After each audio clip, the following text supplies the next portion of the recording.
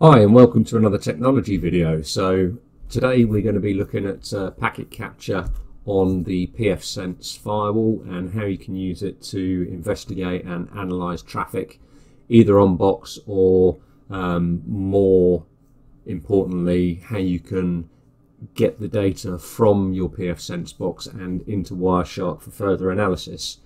So first thing that you want to do is we want to navigate to our diagnostics and go to packet capture. Um, and then what you want to do is you want to set which interface you want to capture the traffic from. So whether you want to capture it on your external interface or your internal interface. So what you want to do is uh, come into your packet capture settings and you want to select whether you want to capture the data on your WAN or your LAN interface. What we're going to do today is we're going to capture it on our LAN interface because then we can um, remove all of the all of the noise. So if you're capturing on your WAN interface, you would either put the host address of your um, external website that you want to capture traffic to or from, or if you want to capture all traffic, you would put your WAN IP address in here, and that would capture all um, external traffic that's coming into your device. so we're going to select WAN, uh, LAN. We're going to leave promiscuous mode um, uh, disabled. Uh, we're going to select all or any for our address family. So this is IPv4 or IPv6. We're only using IPv4, but it doesn't matter. You can leave it set to any. And then protocol, we're going to set to any as well. And then we're going to set our um, LAN host address here to capture all of the data from it. So to find out your LAN address, you want to open up a command prompt. If you don't know it off the top of your head, and you want to type in ipconfig, which will then give you your um, IPv4 uh, IP address. So ours is uh, this one here. So we just highlight it, copy, and then we can paste it in. Um, we want to capture all ports, so we're going to leave that blank. We want to capture the entire packet length, so we're going to leave that set to zero. And the count, um, this is important, so at the moment we're only going to capture the first 100 packets, so we want to set that to zero so we capture all packets. Uh, the level of detail, this doesn't apply if you're going to be using Wireshark to analyze your traffic, but it does affect the level of detail that is displayed once you stop your um, capture on the pfSense box um, if you want to do a, a, reverse lookup, then you can do that with this option here, but we're not going to do that. So, without further ado, let's hit our start button to start capturing the traffic.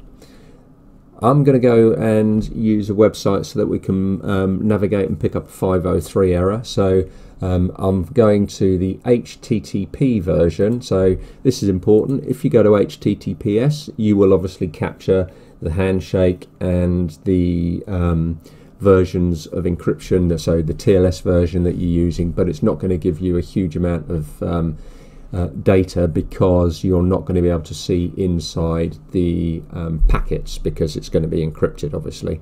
So we're going to http http stat.us and we're going to hit it with a 503 error to see if we can pick that up in our packet capture.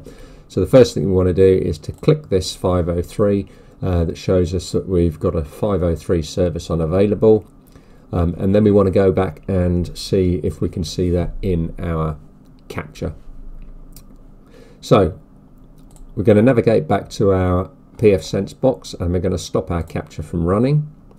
Um, to analyze traffic in Wireshark, you obviously need to have Wireshark installed, which we have. And here is our packet capture, so it's everything to and from just our single host, which um, filters out all of the rest of the noise on the network. And we are going to download our capture file, and we're going to click on it down here, and that is going to open up open it up in Wireshark, so we can have a look at it further. Okay, so we've still got a little bit of noise in here. So this is the noise from our um, PC that's talking to a variety of internet hosts. So what we want to do is we want to actually go in and have a look at our, um, grab the IP address. So we're going to copy that and we're going to do a simple NS lookup on that uh, domain or on that host. find its IP address, so 23.99.0.12, and then we're going to come back to our Wireshark and we're going to have a look for that um, IP address in here, and then we're going to just capture that uh, stream from that one host. So once you're in your uh, TCP dump, you can search through the whole stream manually, having a look at traffic, what's going on. Uh, there's still quite a bit of noise in here, so if you're familiar with um, uh, TCP, then you'll be able to see basically. Here we go. This is our this is when our stream first starts, I believe. But if you wanted to uh, eliminate all of the noise and only see what you've got going on, then if you're familiar with the Wireshark language, you can write a filter uh, that will just bring out the data that you need. So it will eliminate all of the noise um, for what you want. So first thing that we want to do is we want to, it's going to be a multi uh, statement. So we're going to be uh, setting it as source and destination um, or source and destination based on um, local LAN and external WAN. So the way that I do it, it might not be correct, but in terms of writing the filter,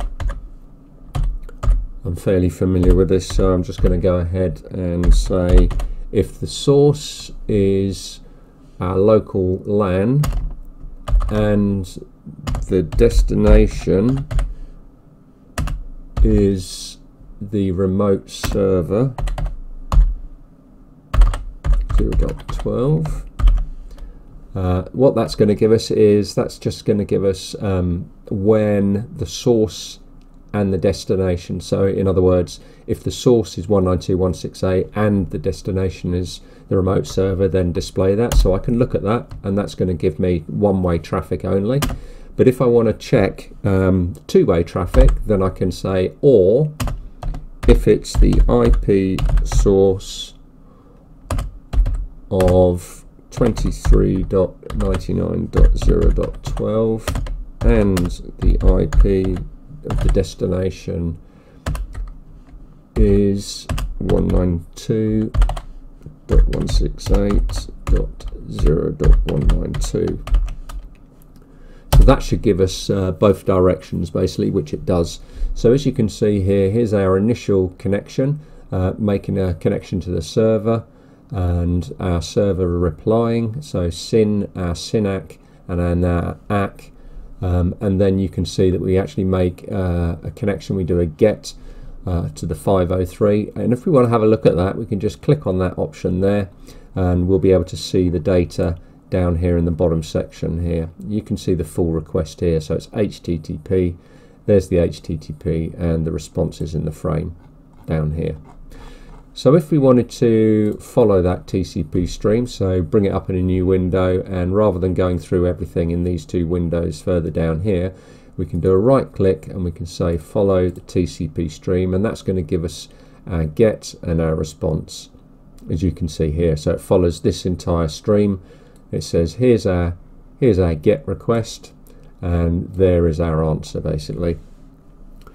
So that is how you can filter everything out. If you notice that it's now replaced, it's now replaced our um, filter because actually we're now filtering only on that TCP stream which gives us the bidirectional um, traffic that we wanted. So um, that's all there is to it basically. Um, if you found that HTTP analysis video useful, give it a thumbs up. If you've got any queries or questions, leave us a comment in the description below. Um, don't forget to subscribe to our channel so that you don't miss any future ones. There is a bell or something that people keep going on about that you can um, hit as well that will notify you when a new video comes out. Um, but if you're a fairly regular YouTube uh, watcher, then you'll see um, our notification anyway. Apart from that, I'd just like to say thanks for watching.